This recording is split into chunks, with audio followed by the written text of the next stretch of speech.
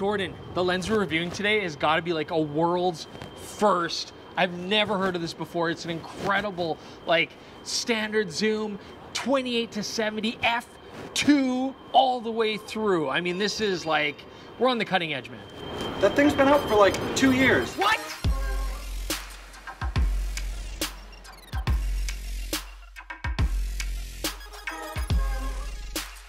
Welcome back, DPReview TV viewers. It's Chris Nichols here. And all cold open jokes aside, yes, we've known about this lens for quite a long time. It's not a surprise. So why are we only now looking at it? Well, a couple of reasons. I mean, yeah, you know, we you know had a hard time getting it. They couldn't really get us one to play with right away. So first off, special thanks to our friends at the camera store for hooking us up with the lens today to test. But also more importantly, we were able to test this lens earlier, but we had cameras like the EOS R, RP. You know, it doesn't have a high resolution sensor and this lens doesn't have any optical stabilization, so we really wanted to wait for a body that would have IBIS to see what this lens can really do. So now today, we've got the Canon EOS R5, we have IBIS in this body, we've got a high resolution 45 megapixel sensor, so seems like a good time to now visit this lens and see what it can really do.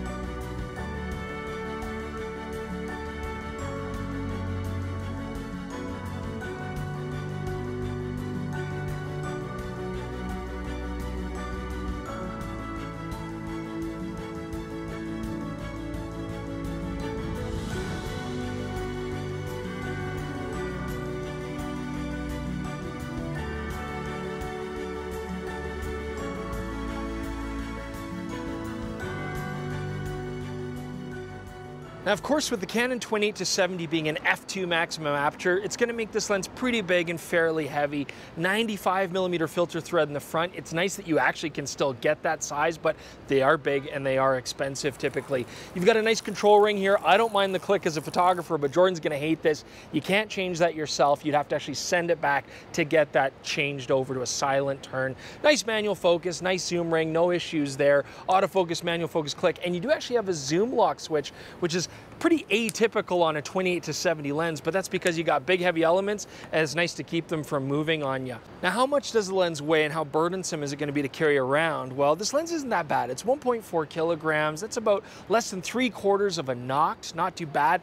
You know, the weight of a liter and a half of water or I don't know, a bag of potatoes or a human brain. So if you're walking around the street and you find a human brain really heavy to carry around, then besides the other problems you have, you probably shouldn't get this lens. Now autofocus speed is something we were concerned about this lens because it's a lot of glass that has to move. And a lens like this, you want to be versatile, quick focusing, even in low light situations. But happily, this lens moves its elements with authority, very quick, very snappy. You know, I think if you're doing weddings or documentary work or even in low light situations, this lens focuses very nicely and you're going to be pleased with the performance.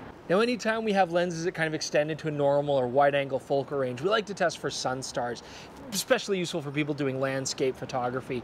And we were actually really happily surprised by the 28 to 70. I mean, Canon are known for delivering lenses with good sun star performance. As you can see here, beautiful sun stars, really delicate tines on each star, really dramatic looking. So I like that a lot. And I think if you are shooting landscapes, this is going to be a nice lens for you in that regard. Now let's talk about LOCA, that longitudinal chromatic aberration. That's where you get those color fringes in the foreground and background out of focus areas. We were worried about this lens being that it has such a wide aperture, complicated formula. We thought we might get quite a bit of LOCA, but as you can see here in the samples, there's some. You see a little bit of magenta coloration in the foreground, a little bit of green cyan in the background, but overall, very well controlled. Wasn't anything I was too worried about.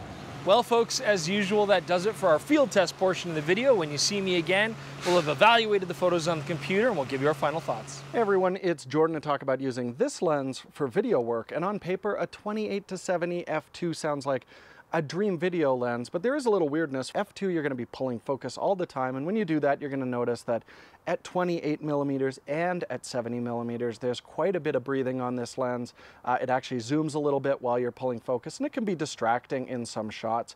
Now, don't worry, I'm sure that there's eventually going to be a full frame cinema version of this that's breathing corrected, but it's probably also gonna set you back about $14,000.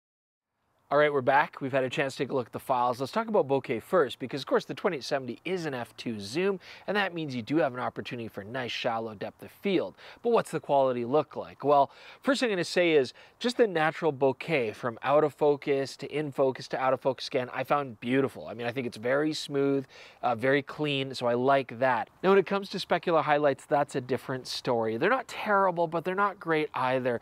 I mean, you can see here, first off, we're not getting a soap bubble effect. That's nice but we are getting some onion rings in the bokeh. It's kind of messy looking in there.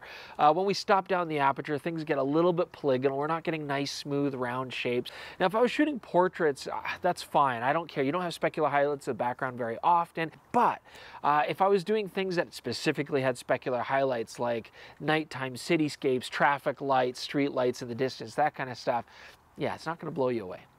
I spent the whole day shooting outside, a lot towards the sun, bright light sources, and I didn't notice any major loss of contrast or ghosting problems. So that's nice. You know, if you can shoot backlit portraits and stuff, I think this lens is going to do a good job. But what about sharpness? Well, Let's take a look here. First shooting 70 millimeters in the center wide open. Not bad.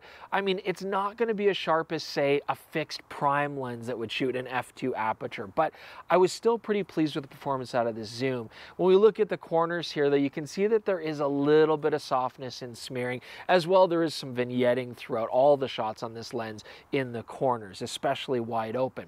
When we stop down our lens to f5.6, you can see the corners, honestly at 70 millimeters, don't improve that much just a little bit.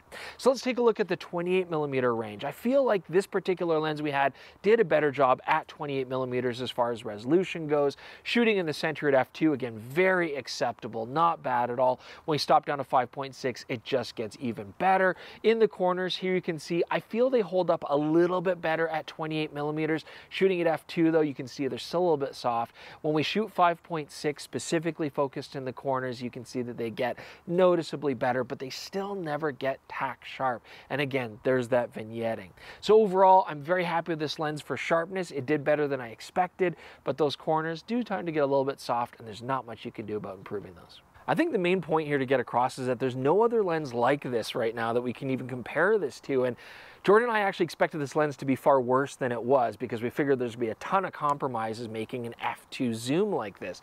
But really the fact of the matter is things like distortion and vignetting are easily corrected. LOCA, which is hard to correct, was mild.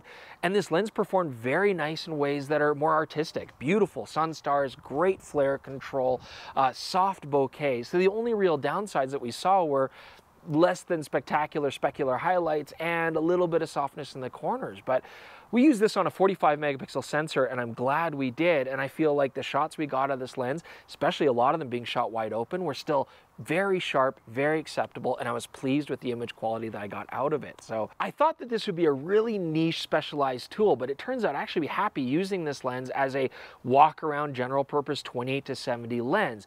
You know, and that brings natural comparisons then to what about the 24 to 70 2.8? Well, that is definitely a little bit lighter and more compact. And that will play a part if you're gonna walk around with this lens for a long period of time. But I didn't find the weight that problematic. Uh, also, this 28 to 70 didn't really have any optical compromises that I was really worried about. So, you know, I would use this as a walk around lens as long as I had a body that had IBIS built into it. That would be a big plus for me. Yes, it is significantly more expensive than the 24 to 70, but 30% more for twice as much light, not that necessarily bad a compromise to make. So I could absolutely see somebody doing night photography, concert shooting, wedding photography, street photography, any sort of documentary style photography where you might want to get really shallow depth of field or you need faster shutter speeds because you're dealing with motion blur in low light situations, I think this lens would absolutely fit the bill.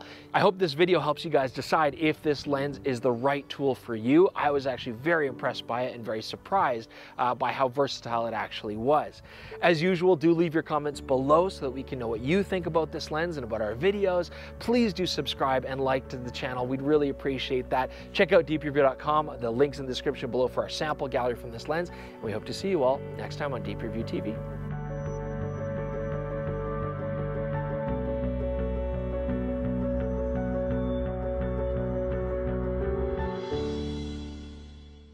So we're doing a lot of shooting downtown and I'm just like, why does Calgary smell so much like a toilet right now?